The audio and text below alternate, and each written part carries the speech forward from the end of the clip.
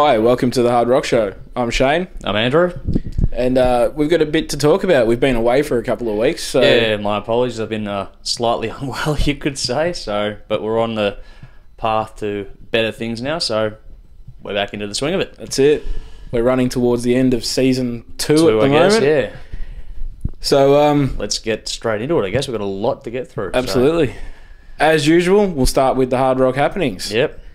Um, now, first piece of news to talk about Yes. is one of our favourite Melbourne, Melbourne bands. bands. Yeah. yeah. Has uh, called it a day. Yep. So, Fastrack. Why?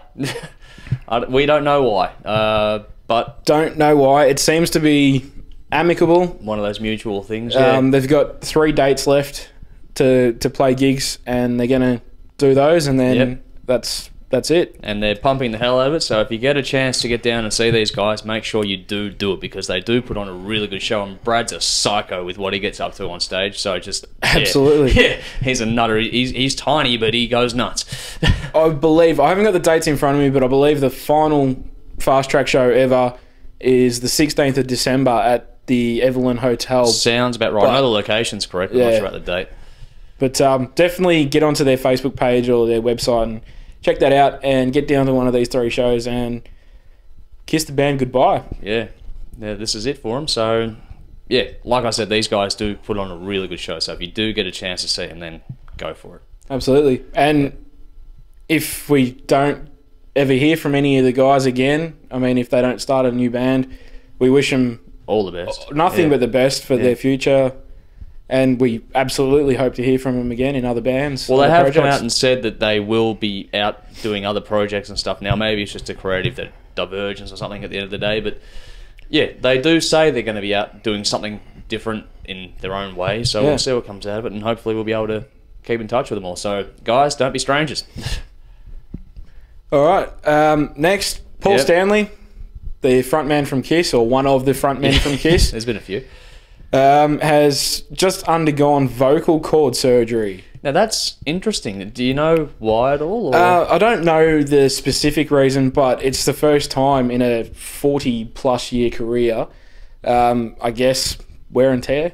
Sometimes it doesn't take much. Sometimes it can be just you you get under the weather and you keep performing and you put it under such strain. I got get- the impression that it's something that he's needed to do for a while, and he's Yeah. just put it off and put it off because Kiss are always touring. yeah. Um, they're probably one of a handful of bands that have retired 75 times, Yeah. but they continue to tour. So, Yeah. and, and I welcome it because I'm Yeah. a huge Kiss fan, and I'll go and see them again and again. Yep. Um, Well, you can get things called, I think, polyps on your vocal Polyps, cords yep. and stuff, and you have to get those removed, otherwise it can cause serious, lasting damage. But at the same time, the surgery itself can be slightly risky. So, well, Hopefully. he's he's expected to make a complete recovery and cool. Should be all good. It's a good prognosis. I guess with the money they've made, he can afford the best. So, That's it. um, okay, I guess I'll throw one out there now. Now, uh, Steven Tyler of Aerosmith. This is so not rock and roll. He's uh, had a fall in the shower and he's lost some teeth, cancelled some shows, but he is expected to make a full recovery. Yep. Slightly morbid start to the show, but oh well. Well, I don't know. Sorry, I personally have never once slipped in the shower. Having said that, we'll probably miss another couple of weeks now, but um, having said that, you're Yeah. also not pushing the age barrier that No. Steven Tyler's pushing. True. But um, yeah, he is expected to make a complete recovery, Yeah. and again, we wish him well. yeah, another one. So good luck. And Aerosmith, bring your asses to Australia because I want to see you live. Yes, so do I. We've missed out long enough, I think. So time to get down here. Yeah. Um, Hang on, sorry. On one note, the economy's booming. Come here and make some money. We're one of the few countries in the world where the economy is actually going strong. So yeah, and you must make money here because they charge $160 a ticket here, whereas back in the States it's only $60 a ticket. yeah, let's uh, not go into that tangent. figure so- that we'll have that debate another time. Next up is Sammy Hagar, everyone's favourite red rocker. Yeah. has come out and said that he would be interested in managing Guns N' Roses if the original lineup was to Maybe this is just sort of a blood nut alliance or something. I don't ah, know. I don't know what's going on there. yeah. Sammy I don't does know. come out and say some bizarre stuff every Yeah, now and then. Hey, yeah. hey, I don't really think that this reunion is ever going to happen. Not with the latest comments that Axl's made as well. So Basically, all that's stopping it from happening is Slash and Axl. And in saying that, I mean Axl. Well, he's never going to bury the hatchet. I reckon No. Slash. All it would take, I reckon, is one apology from Axl if he meant it, and things would be okay again. But Axl won't back down. But Honestly, I don't need it. no, not personally. I'm more but- interested in what Slash is doing with his solo career. I'm more interested in who the hell is going to be the singer of Velvet Revolver. Yeah, that's an ongoing saga. Guns so N' hurry up. Roses. Guns N' Roses. I grew up with them. I Yep. fucking love them. Yep. Oops, I just dropped the f bomb. Oh, okay. We're getting used to that slowly. Um, absolutely love them. yep. And don't get me wrong, I would definitely go and see Oh, them we'd pay and go and see them. No if problem. they were but coming out. But I don't need it. I think it's a case of it's been a really long time, and so the longer it goes, the less you kind of need it. So Yeah. for me, that's what it is. And so you just have to wait and see. It'll never happen, I don't think, but you never know. When there's that much money being thrown at people, strange things have happened. That's true. Probably last all of two shows where they punch on stage anyway, but. Oh. All right, Um, you got one more to throw out? yeah, we do. Now, The Worshyp, who we've covered previously on the show, good friends of ours from uh, Canada, they're going to be recording their next album, which we've already mentioned, Evil Abounds, uh, with Glen Robinson. Now, he's produced likes uh, of the Foo Fighters, ACDC, Queensryche, more um, solo artists and things like this. So that's actually a really good land for their sophomore album, I guess you'd call it. Yeah. So congratulations to them, and I'm looking forward to hearing that product because they're saying it's all written and ready to go. So off they go to Montreal and get it done. So guys, get it done and let us Can't- see what's going on. Can't wait to hear it. Yeah, Um, all right. Moving on to some recent releases. releases, I guess. Yeah. Yeah.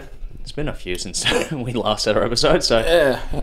Um, first one, uh, yeah, I think most of you would have checked it out by now. and Even- most would not like. Yeah, most of you wouldn't like it. no, Um, it's Lulu, the Metallica, Lou, Lou, Reed slash Metallica project. Yeah. Um, it's crap, absolutely crap. The View, which is the first song that everybody would have heard, is the highlight of the album. I haven't listened to the thing in its entirety, but what I have heard being around here with you and stuff is it's not good. It's not good. no. I just want to make sure that everybody realizes it's not the latest Metallica record. No, it's not. That- that's- Metallica are working on their next record at the we speak, moment, yeah, and this is basically just a stopgap sort of thing. a throwaway it's, side it's project. more of almost. a Lou Reed album than Yeah. it will ever be a Metallica album. In saying that, there is some really cool Metallica riffs on there. Yeah.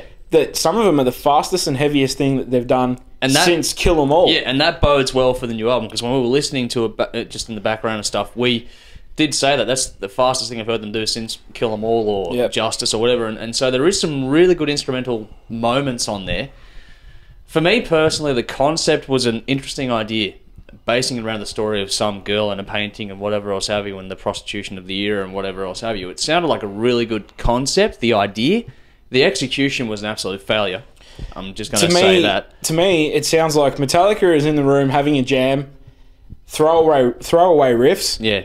and then they've let Lou Reed or Crazy Grandpa, as I, I'd like to think of him at the moment, come and dribble shit over the top of their throwaway riffs, and it just does not make for a great album. No. I don't think it was ever going to be a great album. But we did. I did say to you when we were listening to it that I thought that if they'd had the sort of the quieter, sort of more Lou Reed moments in there when he was just talking and and having that interesting sort of music going on, and then they'd have a break and then throw to a Metallica based track, I reckon that would have worked a lot better, and that had potential in that format. But otherwise, Yeah. no. But anyway, that's enough about that. Yep. Um, another release that I would like to throw out there is the new Jane's Addiction album. Yes. It's called The Great Escape Artist. It's it's really cool. It's a it was a real pleasant surprise surprise to me. Yep. Um, they haven't recorded anything for a while, and I wasn't sure what to think of this one, but it is really a cool. Um, it's definitely a Jane's Addiction album. Yep. But it's also just cracked number twelve on the US Billboard 200 charts, so Congratulations. they've obviously done something right. Well, especially after such a long hiatus as well, that's a fairly good Yeah. effort to come back in that high. Definitely. I think their last album was 2003 or 2002, something like that. You break that down, that's eight or more years, and that's almost a generation switch when it comes to the people that sort of get into the music at a certain age and stuff. So to have the same following this far on that can push it that high up with the crap music that's being ma- mass produced these days, that's a good effort. So well done to them. Yeah, definitely. now I've got one more, and then Andrew can throw a couple out to you. Yep. Uh, Mastodon, Yep. The Hunter, sensational. I'm not even going to throw any tracks to you guys. I just listen to the whole thing Yep. and just love it because you will. Um, they've done some great albums before Yep. Crack the Skye, Blood Mountain, uh, Leviathan. All awesome albums. This one sort of ditches the whole concept thing that they always go for, but still kicks ass. Um, well, you get a lot of, uh, I guess, practice and, and getting to really refine your craft, doing a, a, lot of concept type work to break it up into individual pieces would be liberating in a lot of ways, and I think and they probably would play with that a lot. yeah. But yeah, it's definitely a great album. Yep. Check it out and let the album speak for itself. All right, now I got a couple to throw out there. The first one being the new Evanescence album. Now, love them, hate them, I don't really care. I do like these guys; they're not bad at all. Now, the new album is just a self-titled album, so Evanescence, not bad. Now, it's not groundbreaking or anything like that, but if you are already an Evanescence fan, this album will hit all the spots for you. There are some good albums, uh, good tracks on there, so it's worth listening to the whole thing through. But not the world's best album, but it is a good continuation of their career. And considering they've had lineup changes and stuff, they managed to keep very much the same vibe, which is hard to do, especially for a band that's only done three albums. So, Yeah. um, it's a good one. Check it out. Now, the other one is Five Finger Death Punch. I love this album. Now, I could rant and rave about this album for ages. Now, we got to thank the Gooch for exposing us to this one, or me personally. Anyway, I hadn't heard anything from them before DJ Gooch from Metal Messiah Radio played that one particular track for us. I forget which one now, but I went and got the album based on that one track alone, and I tell you right now, I was not disappointed, not for a moment. Now, when we were talking about it, I remember your way of describing it, which is really, really fitting, which was Pantera crossed with Disturbed. Yeah. I reckon that's a really fitting description. And if you like either of those two bands, you cannot go wrong with this. And it goes heavy as hell, screaming and stuff, but it also goes right back into some really good laid back ballad type Real stuff. melodic moments. Yeah. And the guy can sing. I don't care how well he can scream. If you can sing, you'll impress me. And this guy can sing. Yeah, he definitely can. Yeah. It is a good album. It's a great album. Yep. I don't think it's as good as their last one. Yep. I really, really enjoyed the last one. Now, I held off on this band for a while. Yeah. I didn't didn't want to check them out, Well, this is my first taste of them, so but I finally came around and I checked them out, and I went, "Wow, this is cool." So hopefully we'll get more good stuff from these guys. And Yeah. They do a lot of it themselves as well, so get on and support the bands. But this one, awesome. This one ticks all the boxes for me. absolutely. So yeah.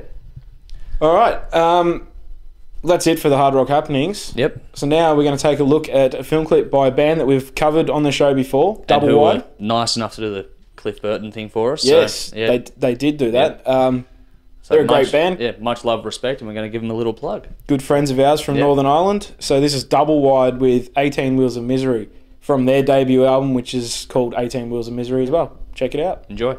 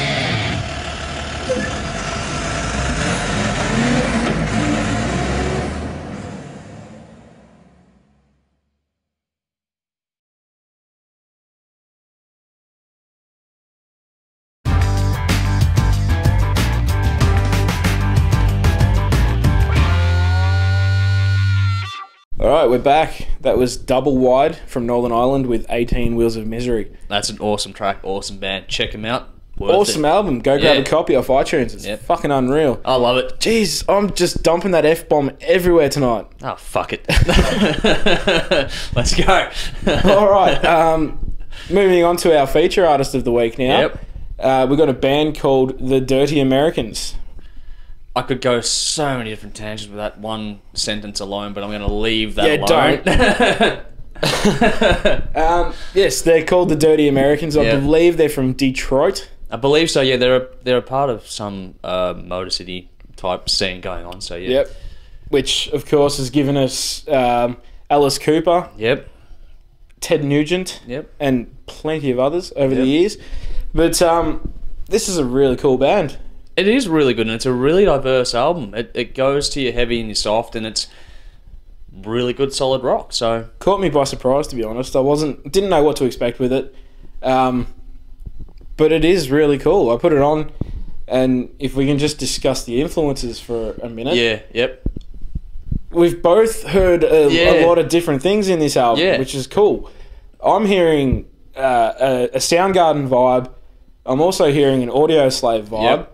And that's not just based on the vocals, Chris Cornell's vocals. No, no. Um, I'm, what else am I hearing in there? I'm hearing a lot of Stone Temple Pilots Yes. in there, and that is where the vocals come yeah, into it. that's the vocal influence for sure. Scott Weiland has a huge influence over the vocals on this band, yeah, in my opinion, and a good influence too. A really good influence. Absolutely. Yeah. Absolutely. But I also hear Monster Magnet in there. Yeah. A bit of that uh, psychedelic stoner rock kind of vibe, and it's it's really cool. Well, the two that really stood out for me were the first one was Velvet Revolver, which throws into the Scott Weiland thing again. So we both Yep. heard the same thing. And when we talked about before, after you've listed your influences, it, it comes through. But yeah, definitely Velvet Revolver. There are some tracks on there which really could belong on a, a Velvet Revolver album, which Yeah. is credit to the guys because there are some kick-ass songs on there. Another one for me, which might be a little bit of left field, I guess, as they say, um, Nine Inch Nails. In particular, the album with Teeth. Now that one, it's not so much the songs, but the way the sounds are done. Yep. Now they they come through and they sound really really good, and it just works. And it's just that little bit of difference. If you could imagine the With Teeth album, sort of more of a rock album, less of the industrial influence of Trent Reznor with the strange sounds he likes to throw in there. Just a straight up rock album. I reckon the influence would be a lot easier to hear. But for me personally, I did hear that in there, which was different. I hadn't heard anything like that, so it was really good. Again, different, and different is good. I love different. I just realised that we haven't actually pointed out the name of the album that we're talking about. No. good point. It is. we are talking about their latest album, which is called Black Feather, Yes. and it's it's a very cool album. Yep. I mean, if you're into any of those bands that we've just said we can hear the influences of on this, then I would highly recommend Well, we're checking that them excited out. about it, we forget the name of the album. So there you go. But um, we should have a look at one of their songs right now. Now, this isn't actually on the album Black Feather that we're talking about. no, these guys have been around for a while. Yeah, they've so- got a few EPs, and, Yep. and this is their first full length album, I'm pretty sure. Yep. Um, but this is a clip called Strange Generation, which is from their EP of the same name, Strange Yep. Generation. So check this out. And um, if you're into this song, then definitely check out that EP and then grab yourself a copy of Black Feather because Black Feather's awesome. And if you like their stuff in general, they got a pretty big catalog at Yeah. the moment. So yeah, there's plenty to get to. So if you And like as it, usual, this stuff is all available on iTunes or through the band's website. or so Amazon, their stuff's on Amazon Yeah. as well. So and CD Baby and all Yeah. that sort of all that sort of stuff. So um, yeah, this is Strange Generation from um, the Dirty Americans. Enjoy. Gracias.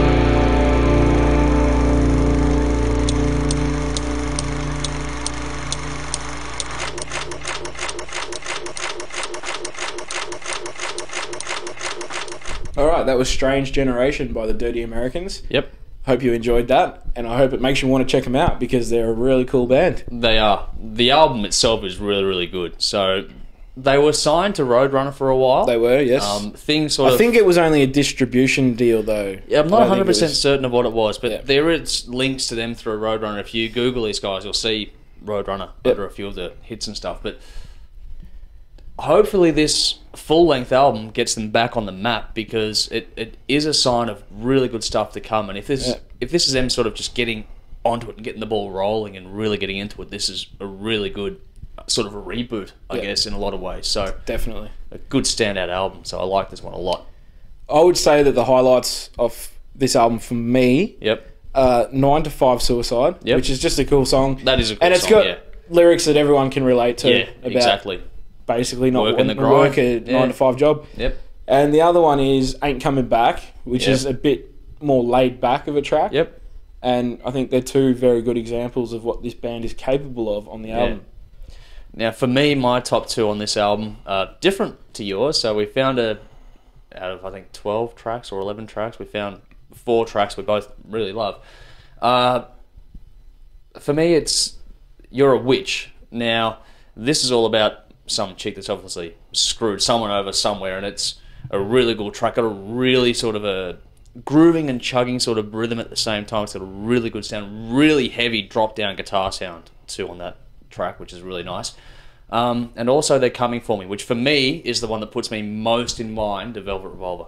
I do like that track a lot as well. So those are the two for me that really stand out on the album.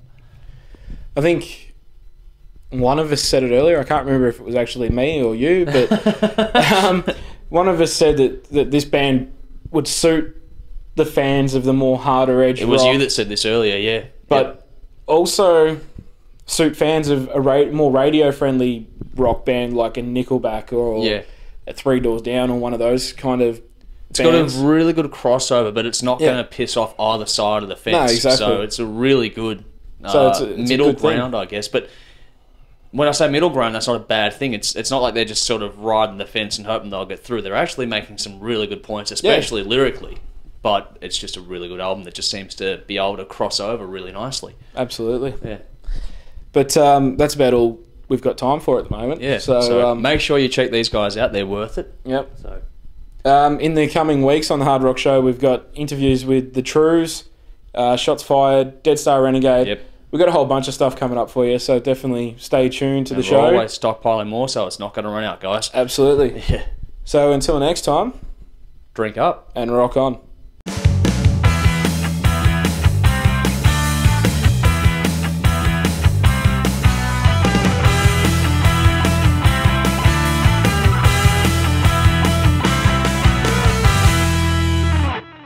Sorry to tell you, but You've had your a loved massive, one has just had a massive, massive, massive, massive stroke. have cunt slapping on you on the back of the head going, Are you stuck? no, I just had a stroke. just a minor, minor, minor, Minor stroke. stroke. I think we just found our fucking blooper for the episode. I think we just probably went into distasteful territory as well.